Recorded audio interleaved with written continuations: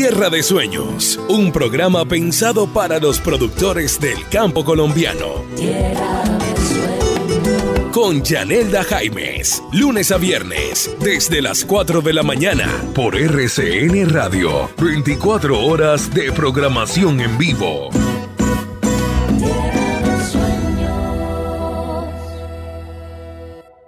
Luna roja que saliendo va en el se ve roja porque arden los pajonales, va copiando la silueta de las palmas, hay de las palmas en los verdes morichales, cruce el viento arrastrando nubarrones y humaredas queda la hierba quemada, y a lo lejos se oye el bramar de los toros, hay de los toros que pelean en los mayores, luna roja ilumina mi camino muy, pero muy buenos días a todos ustedes, nuestros oyentes, los oyentes de RCN Radio de Tierra de Sueños.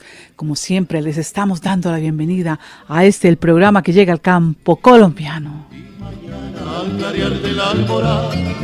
Cuando se oigan cantar las Escuchan ustedes Luna Roja de Silva y Villalba.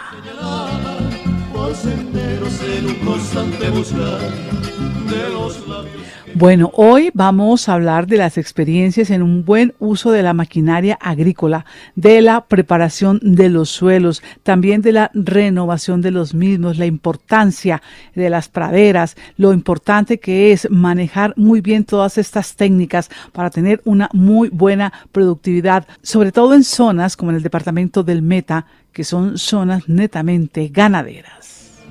Cuando se oigan cantar la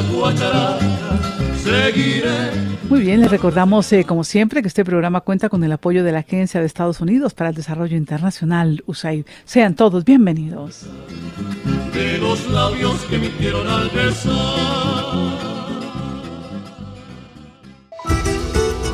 Abonando terreno muy bien, para hablar de este interesante tema, de todos estos factores en la actividad agrícola que tiene incidencia en el campo colombiano, saludamos a esta hora al señor Alexander Aragón Rueda. Él es el gerente regional de Granada en el departamento del Meta del programa de alianzas comerciales de USAID. Señor eh, Aragón Rueda, buenos días, bienvenido a Tierra de Sueños. Gracias, muy buenos días eh, a ti y a todos los oyentes bueno, hoy vamos a hablar con nuestro, para nuestros oyentes sobre esas experiencias en el uso de maquinaria agrícola eh, y la preparación sobre todo del suelo, que también es un tema muy, muy apasionante para todos los agricultores en Colombia. Inicialmente le pregunto en qué consiste esa preparación correcta del suelo, los beneficios sobre todo que trae para el productor. Claro que sí, sí señora. Mire, eh, dentro del marco de la agricultura a nivel de de lo que es la relación suelo-animal, eh, suelo-planta, perdón, eh, encontramos de que la preparación de suelo es el punto de anclaje más importante inicial para poder realizar un proceso óptimo en, la, en, el desarrollo de nuestros cultivos. Los beneficios que trae para el productor agropecuario. Claro, eh, el beneficio es muy grande porque la raíz de la planta es la boca, es por donde la planta toma sus, nutrientes. Mm. Y al nosotros mejorarle el suelo a esa boca, a esa raíz, es, eh, estamos haciendo de que la planta se desarrolle, se nutra y se desarrolle mejor en su ciclo. Eh, ese es el beneficio mayor grande. Entonces, ¿por qué? Porque esto se va a ver expresado y el productor va a tener mejor producción, mejor cantidad de comida, si es en el caso de pastos, y mejor producción si es en el caso de cultivos, eh, pues digamos de cacao, café o, de frutas y vegetales. Claro. Bueno, ya hablamos entonces de la preparación. Hablemos ahora de la renovación del suelo. ¿En qué consiste y la importancia en las praderas? Listo. Renovar el suelo es cambiar eh, las condiciones o sus propiedades físicas, ¿sí? Eh, quiere decir con esto que vamos a mejorar esa estructura y la estructura es aquello de cómo se conforma el suelo de acuerdo a sus capas. ¿Sí me entiende? Entonces, lo que hacemos es, eh, en el momento de renovar, es romper esa estructura, generar de que haya mayor ingreso y mayor movilidad del aire, mayor movilidad del agua, para que asimismo la planta pueda ver, eh, eh, tomar de estos, de, de, estos movimientos los nutrientes que transportan cada uno de estos componentes del suelo. Renovación, descompactación. ¿Cuál es su importancia principalmente en las praderas y qué implementos son los que son más utilizados eh, para esta labor? Sí, señora. Los implementos más utilizados está el subsolador. Es un, eh, es un equipo que consta de una, podemos decirle, un chasis con tres dientes rígidos, fuertes. Eh, y está el renovador de praderas como tal, que es un eh, también un chasis, pero ya lleva unas tolvas abonadoras y adicional a eso pues tiene sus dientes de penetración en el suelo. Son los dos implementos más utilizados en, en el trabajo de renovación. Y los tienen a la mano los mismos eh, agricultores, ¿no? Afortunadamente sí, ya hay un gran grupo de población en el territorio intervenido por el PAC que afortunadamente ya tienen eh, ese, ese servicio, ya se ha logrado establecer, adicional a esto, el programa ha podido apoyar la consecución de algunos de estos eh, equipos. Eh, es más, nos hemos atrevido a dar el pasito adicional de, de, en algunos casos, aportarlo o donarlo a algunas organizaciones muy juiciosas y ahí se han formado esos bancos de maquinaria que son los que están en este momento trabajando en cada uno de los municipios de intervención aquí en el metro. Interesante ese apoyo, sin lugar a dudas que ustedes le dan a nuestros productores, a nuestros cultivadores, a los campesinos que a veces están a, merced de sí mismos eh, sin tener estos implementos. Eh, ¿Cuál ha sido el impacto en el meta, en el caso de ustedes del programa de alianzas comerciales, en la implementación de esta renovación de suelos como igual de las praderas? Eh, grandísimo, grandísimo. Mira que, se ha mejorado la carga animal, o sea, no, no sé si, si te familiarices con el término, pero, sí. pero yo sé que, yo sé que digamos muchos de los productores lo tienen muy en cuenta, o sea, estamos pasando de, sostener 0.2 a 0.4 animales por hectárea, a, en este caso, en terrenos, digamos, tan, tan pocamente manejados como los de mesetas, como los de Macarena, eh, de llegar a manejar hasta 5 o 6 eh, unidades gran ganado, perdón, eh, le, le, hago pues la salvedad técnica, por hectárea. Esto quiere decir que el productor no va a tener necesidad de extenderse, sino que mejorando lo que tiene, eh, está, eh, pues digamos, eh, aprovechando esa, esa capacidad suelo y, y aprovechando lo que en sí él todavía tiene en el momento. No ha tenido capacidad ni extenderse a áreas diferentes a las que tenga en su unidad productiva. ese ha sido el mayor impacto porque no solamente maneja lo de la producción como tal en, en menos área, sino también vemos que es ecosistémicamente sostenible y eso ha sido un plus grandísimo en unos territorios pues que nosotros sabemos en el meta están rodeados de parques naturales eh, y que la limitante más grande que ha tenido la conservación de estos de estas zonas ha sido la precisamente la ganadería en la forma en que se venía manejando antes del de, nosotros realizar nuestra intervención. Bueno, ¿cómo se puede lograr la implementación de esta tecnología en otros territorios del país, en otros municipios, en otras regiones? Mm, eh, mírate, mira que, o, fíjese aquí que eh, eh, hemos tenido como un una, una proyección de, de, dar a conocer esto mediante diferentes medios. Yo creería que uno es este, es mostrar esas, esos impactos que tenemos nosotros acá en cada uno de los territorios y también hemos buscado otros canales desde la misma el mismo programa, la misma área de comunicaciones hemos estado tratando de llevar todo este conocimiento, todo este eh, proceso a través de folletos, a través de fotografías, a través de bullets. Eh, y esto ya está viéndose en, algunas otras partes, como por ejemplo eh, Casanares, como por ejemplo Arauca, que, están muy cerca de nosotros y que se han podido enterar de este proceso.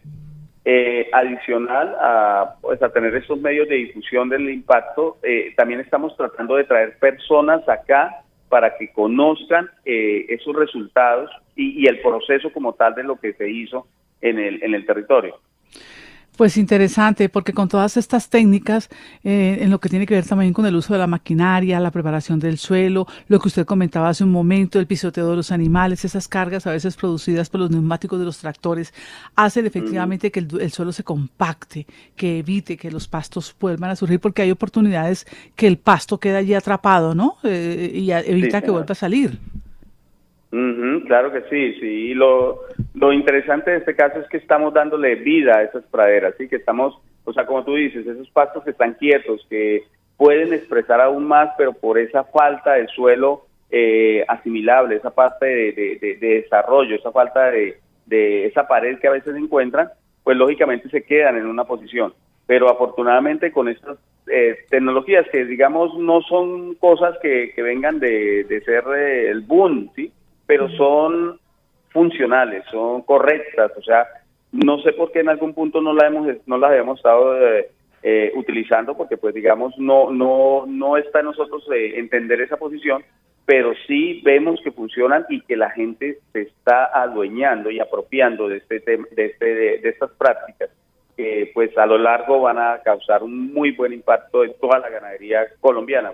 Ese es como el proyecto ambicioso que tenemos como programa. Claro, apropiándose de estos conocimientos entregados por ustedes y de eso se trata, que se queden allí, que se transfieran también de generación en generación para que continúen en esta labor para mejorar el campo colombiano.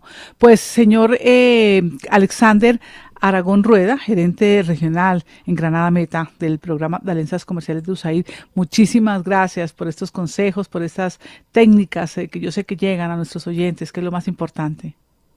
No, no, no, a, a ustedes eh, muy agradecidos por permitirnos mostrar ese, ese, ese trabajo que estamos realizando, ese, ese labor de patria que hacemos cada día con nuestro campo colombiano. Y estamos a la entera disposición de toda la eh, audiencia que ustedes tienen, si necesitan cualquier cosa, el componente eh, eh, técnico del programa es bastante amplio y está siempre dispuesto a apoyar de cualquier parte del país que llegue. Internet para aprender, para un mundo nuevo, conocer, para no parar de entender que puedes crecer, la idea que quieres emprender. Internet para la vida, para transformarla día a día. Internet para la vida, transforma. Internet para la vida, para transformarla día a día. Internet para la vida, te transforma. Un mensaje de Mintic. Y llega esta sección también para el campo colombiano. Llegamos con TIC para conectar las labores diarias del campo con las herramientas digitales que tiene Internet. Esta es una de las apuestas del Ministerio TIC para que los agricultores colombianos le digan sí a la Internet para la vida. Puedes alternar tus tareas de cría de cabras en la Guajira o el corte de flores en la sabana con los 16 cursos gratuitos que tiene Mintic y aprende cómo aprender con canales digitales o la forma más práctica de hacer una reunión virtual. Esto y más en www llegamoscontic.gov.co. Aquí en Tierras de Sueños les explicamos paso a paso. Primero, ingresan a www.llegamoscontic.gov.co. Segundo, hacen clic en Conoce nuestra oferta de cursos gratuitos, donde encontrarán más información sobre los 16 cursos gratuitos. Además, tendrán 35 tutoriales dando clic en Más contenido TIC. Tercero, Luego se inscriben y llenan un sencillo formulario con sus datos básicos. Recuerden que no necesitan conocimientos previos ni ser bachilleres o profesionales. Los requisitos son tener conexión a Internet y ganas de aprender. Luego eligen el curso que quieran, como encuentra el tutorial que buscas, instala aplicaciones en solo tres pasos o compra y vende por Internet. Ya como quinto paso, después el sistema los va a llevar al área de formación y listo. Aprendan fácil y al final descarguen su diploma. Recuerden, Internet para la vida te transforma en el campo y en la ciudad.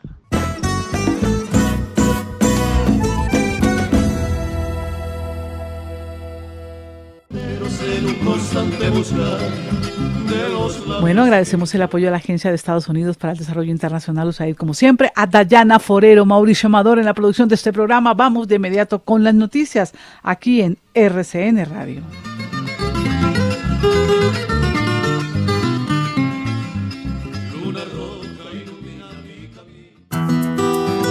Tierra de Sueños, un programa pensado para los productores del campo colombiano. Tierra de Con Yanelda Jaimes, lunes a viernes, desde las 4 de la mañana, por RCN Radio, 24 horas de programación en vivo.